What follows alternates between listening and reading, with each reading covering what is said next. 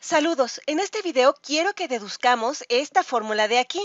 ¿Qué es la fórmula para la frecuencia de pulsación? Recuerden que la forma en la que encontramos pulsos o la frecuencia de pulsación es superponiendo dos ondas que tengan frecuencias diferentes. Cuando hacemos esto obtenemos pulsos. Esta es una onda de sonido que pasa de ser alta, es decir, constructiva, a destructiva o suave, y luego regresa a ser alta, constructiva nuevamente.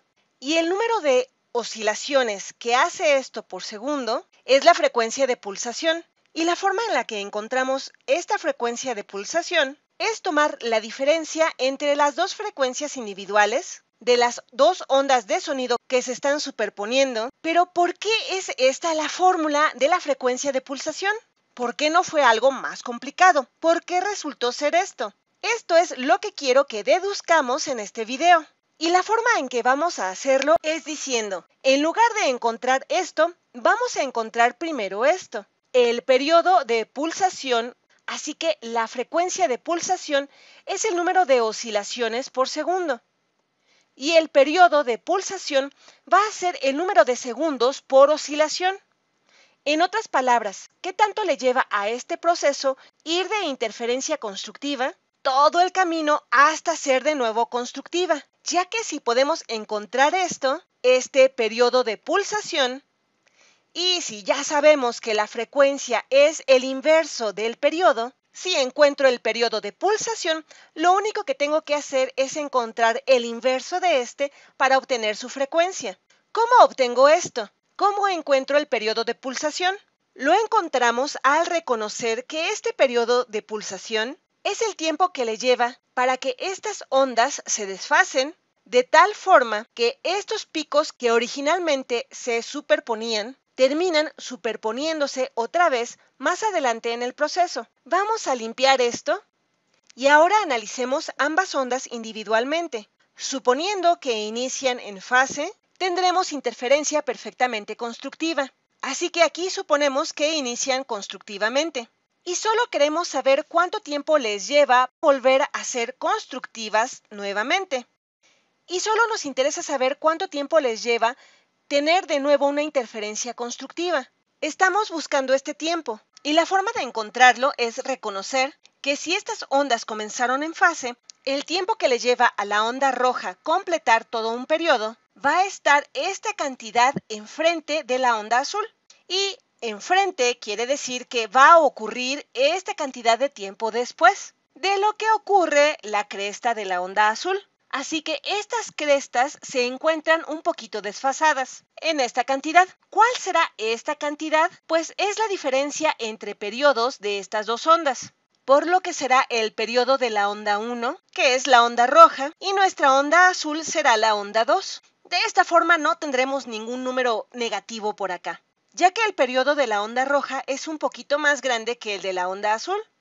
Esto nos dice qué tan desfasados en el tiempo se encuentran estos dos picos. Así que si yo espero un ciclo, se van a encontrar exactamente esta cantidad de tiempo desfasadas.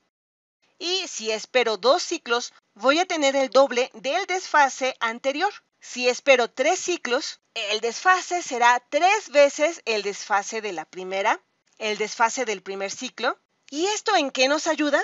Pues vean, si queremos saber qué tan separadas en el tiempo se encuentran estas crestas, en cualquier momento dado, simplemente voy a tomar esta diferencia en el periodo y la voy a multiplicar por el número de ciclos que ha tenido la onda roja. Así que si la onda roja ha pasado por tres ciclos, aquí pongo un 3 y 3 por esta diferencia, esto es qué tan separadas están las crestas en el tiempo. Después de un ciclo están separadas esta cantidad de tiempo. Después de dos ciclos están separadas esta cantidad. Después de tres ciclos será esta cantidad. Después de cuatro ciclos tendrán esta separación y después de cinco ciclos tendrán esta separación. Y ahora se encuentran tan separadas que esta onda roja se está traslapando con la siguiente onda azul. Es decir, la onda roja básicamente se está traslapando con esta onda azul. La onda azul ha avanzado en el tiempo tantos ciclos que su siguiente pico o cresta se va a superponer con este pico o esta cresta de la onda roja. Y es aquí cuando tenemos que se vuelve constructiva de nuevo. Y esta es la condición para que esto se vuelva constructivo de nuevo. El que esta onda roja se encuentre en este momento tan desfasada que está desfasada todo un periodo de la onda azul, ya que ahora se va a traslapar con esta cresta azul, que es la siguiente cresta. Así que si yo quiero conocer el tiempo que transcurre entre dos interferencias constructivas sucesivas, solo tengo que conocer la distancia en el tiempo que se separan estas dos ondas, cuando esto va a ser igual a todo un periodo de la segunda onda. Así que cuando esto se cumple, yo sé que he esperado lo suficiente para que aquí haya de nuevo interferencia constructiva, ya que la onda azul va a estar exactamente traslapada con la onda roja. Pero quizá a ustedes les preocupe que aquí no haya un tiempo. ¿Cómo voy a encontrar el tiempo si es que aquí no hay una T minúscula? Bueno, aquí tenemos constantes. Este periodo de la onda azul es una constante, determinada por cualquiera que sea el periodo de esta onda azul. Y el periodo de la onda roja también es una constante y está determinado por el tiempo que le lleve recorrer un ciclo a esta onda roja. Aquí no hay una variable t que despejar, pero ¿cómo podemos deducir una t aquí? Este número de ciclos que ha recorrido la onda roja no tiene que ser necesariamente un entero. Quizá sea un entero.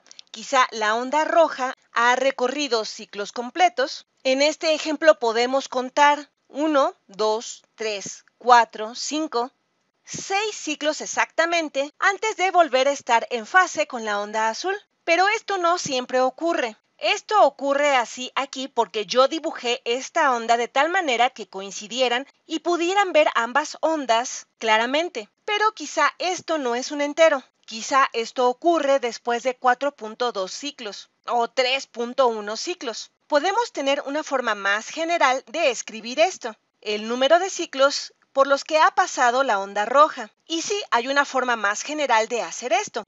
Piensen en ello. El número de ciclos por los que ha pasado la onda roja va a ser igual al tiempo que esperamos dividido entre el periodo de esta misma onda roja, que le llamamos periodo 1. Lo que tiene sentido, ya que si yo estoy esperando un periodo completo, un periodo 1, entonces, este tiempo del periodo 1 entre el periodo 1 me va a dar un ciclo completo que ha recorrido la onda roja. Si espero dos periodos, aquí arriba tendré 2 por el periodo 1. Estos periodos 1 se van a cancelar mutuamente y me va a quedar un 2. Dos ciclos son los que ha recorrido la onda roja. Así que esto me da la oportunidad de escribir el número de ciclos que ha recorrido la onda roja como una función del tiempo que le lleve a hacer esto. Aquí puedo escribir tiempos de manera que no me dé esto un número entero. Puedo poner aquí 4.3 segundos. ¿Cuántos ciclos ha recorrido la onda roja en ese tiempo? Tomo estos 4.3 segundos y los divido entre el periodo de esta onda, que es el tiempo para recorrer un ciclo completo, y obtengo el número de ciclos que ha recorrido la onda 1. Así que vamos a reemplazar esta NR de aquí por el tiempo entre el periodo 1. Reescribimos NR como el tiempo que esperamos entre el periodo de la onda roja o el periodo 1. Y ahora sí, lo único que tengo que hacer es despejar mi T minúscula, ya que es la que me va a decir el tiempo que le lleva a estas dos ondas desfasarse de tal manera que sea igual a un periodo completo de la segunda onda, que es nuestro requerimiento para pasar de cuando se encuentran en interferencia constructiva a la siguiente interferencia constructiva que tengan estas dos ondas. Y justo esto es lo que buscábamos. El periodo de la pulsación. Si aquí despejo mi T minúscula, mi T minúscula, que es el tiempo que les lleva a estos dos picos desfasarse de tal manera que se complete el periodo completo de la segunda onda, va a ser igual, multiplico ambos lados por T1, me queda T1 multiplicado por T2, y todo esto es dividido por este término entre paréntesis, dividimos entre T1 menos T2 Y estoy afirmando que este es realmente el periodo de pulsación, ya que nosotros definimos esta condición en el que van a estar separados todo el periodo de la onda 2. Comienzan en fase y terminan en fase, y este será el tiempo entre los puntos constructivos. Así que esto de aquí es el periodo de pulsación. Así que mi periodo de pulsación es igual a esto. Es el periodo de pulsación para estas dos ondas. Y es una fórmula bastante bonita. Pero recuerden que no queríamos el periodo de pulsación. Queríamos encontrar esta fórmula para la frecuencia de pulsación. Y la forma en la que encontramos una frecuencia es calculando el inverso del periodo. Vamos a limpiar esto y ahora vamos a calcular el inverso de este periodo que va a ser igual a 1 entre lo que está en el lado derecho, lo que me da la diferencia entre los periodos dividida entre el producto de estos periodos, ya que solo invertí lo que estaba en el lado derecho de esta igualdad. Y ahora puedo expandir esto. Tengo T1 menos T2 entre T1 por T2. Si lo expando, esto va a ser igual a T1 entre T1 por T2 menos T2 entre T1 por T2. Y ahora ocurre algo mágico. Las T1 de aquí se cancelan y en este otro término, las T2 se cancelan también. Y me queda que 1 entre el periodo de pulsación va a ser igual a 1 entre el periodo de la segunda onda menos 1 entre el periodo de la primera onda. Pero vean que 1 entre el periodo de pulsación va a ser la frecuencia de pulsación. Así que 1 entre el periodo de pulsación va a ser igual a la frecuencia de pulsación. ¿Y a qué va a ser igual 1 entre el periodo de la segunda onda? Pues va a ser igual a la frecuencia de esta segunda onda. ¿Y a qué es igual 1 entre el periodo de la primera onda? Pues ya lo saben, es igual a la frecuencia de la primera onda. Y así obtenemos nuestra fórmula de la frecuencia de pulsación, que es la fórmula que tratábamos de encontrar. Esta es la fórmula que queríamos deducir y lo hicimos. Y la razón es que tuvimos que esperar justamente esta cantidad de tiempo, el periodo de pulsación, para que estos picos volvieran a estar en fase. Tuvimos que esperar que los picos se desfasaran justamente un periodo completo de la segunda onda. Y ustedes me pueden decir, a ver un momento, aquí necesitamos los valores absolutos, ¿cierto? Pues sí, aunque tuvimos cuidado desde el principio para encontrar la diferencia entre un periodo más grande y un periodo más pequeño. De manera que restamos el pequeño del más grande para asegurarnos de terminar con un número positivo. Pero podemos poner los símbolos de valor absoluto en el caso en el que ustedes no conozcan cuál de estas frecuencias es más grande. Pero es así como determinamos la fórmula de la frecuencia de pulsación.